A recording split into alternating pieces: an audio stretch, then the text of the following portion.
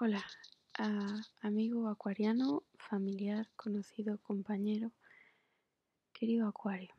Se acerca un año en el que gestarás cambios, cambios que no son sutiles, son cambios grandes, cambios de pareja, cambios de trabajo, amistades que se transforman, son cambios que ponen a prueba la veracidad de tu propósito kármico, seas grande o pequeño.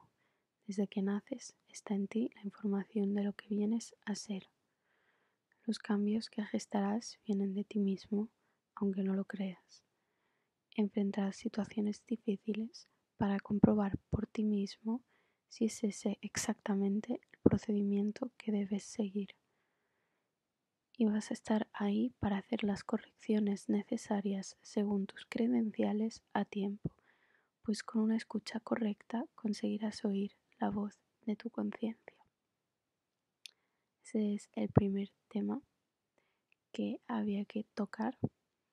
Y el segundo tema es Mercurio retrógrado del 29 de enero hasta el 20 de febrero.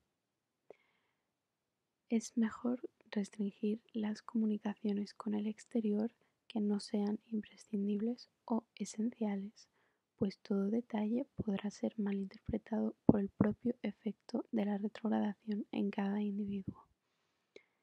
Hay que partir de las bases de que es un periodo en el que los asuntos de comercio, mercantilización y comunicados tienden a tener interferencias e interrupciones con el fin de revisar su función en la vida de cada quien.